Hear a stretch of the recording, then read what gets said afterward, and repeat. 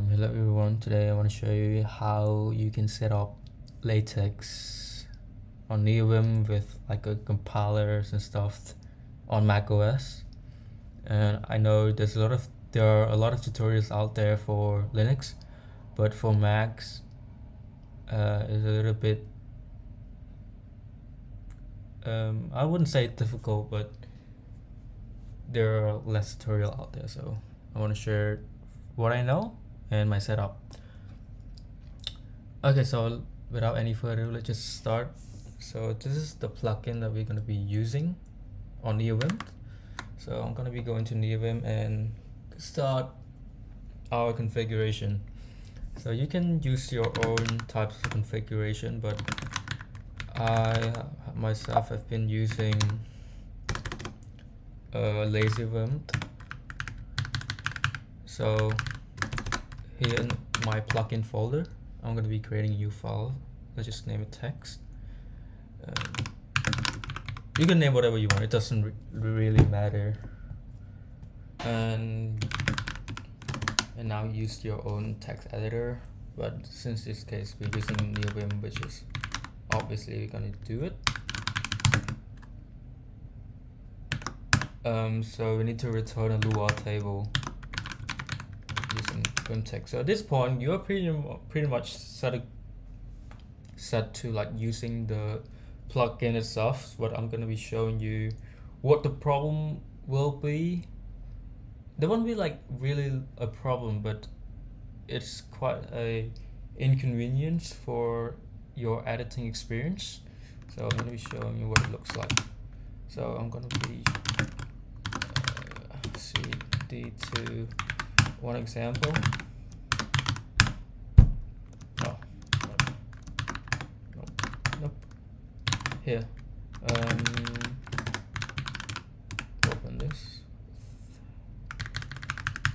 So, what you need to do in order to compile the file is backslash and then L and another L. So here it is.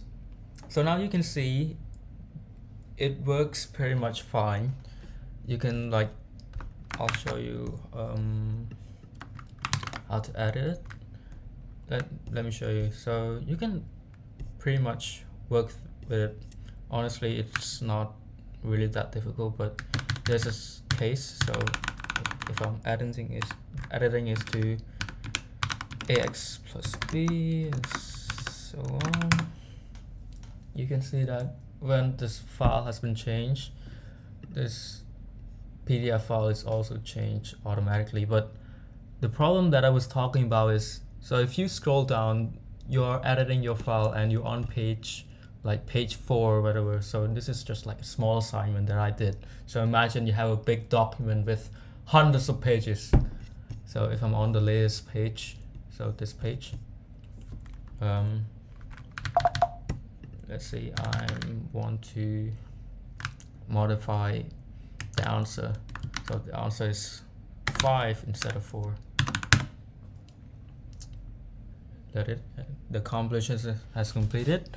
When I click on back to the PDF file look it moves you back to page 1 again if I try to change anything else it will just move me back to the first page which is really a pain in the ass.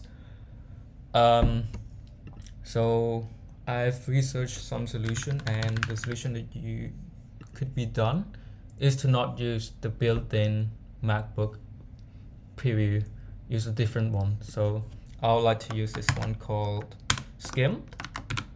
It's a pretty old app, but it works wonderful. So just I'm using Brew to install it. Let it install just a few sec.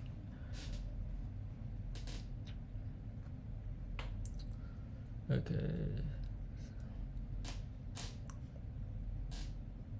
Since I already did done this so it would have said yes it's been installed.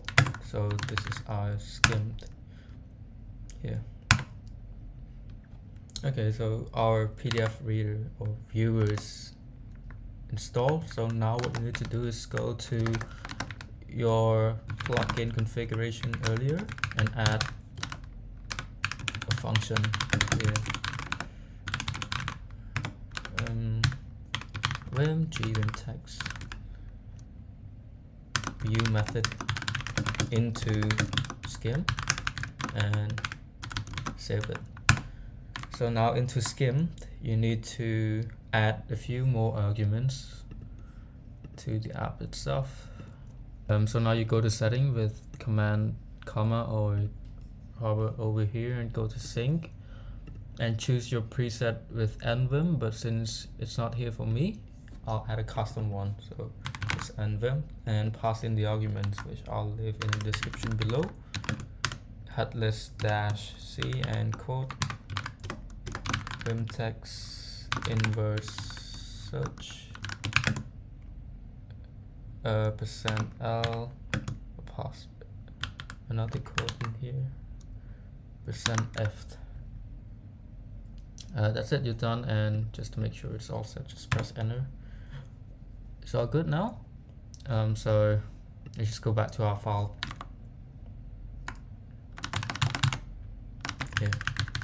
So now if I let it compile well it stopped earlier so.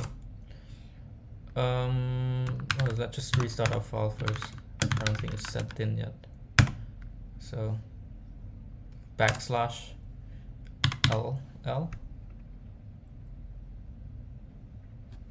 It should be loading any minute now. Here it is. So I find these side panes a little bit annoying so I'll disable it you need to go to view and hide these things here. So just move it and show you how it works. Well it's the same thing but you know. So if I change the value back to 4 again for the velocity here if I change to 4 see? I'm still on page 6 I'm not moved back to page 1 uh, I don't know what's going on here with the plugin but whatever so the important thing is we're not moved back to page one which is the thing that we need. So now we can edit it with pretty much yeah it's just the same old LaTeX. So if you like the video leave a like or dislike I don't care. Just want to share some stuff yeah. Um yep so thank you